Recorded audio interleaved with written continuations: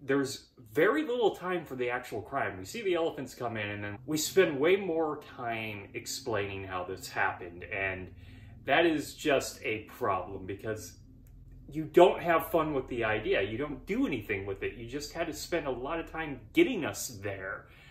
And probably would have worked better as a two-part story. I know I say that a lot, but they could have like wasted this issue. Probably would have been a strong issue still, but we could have had like the story about what the elephants do. But now they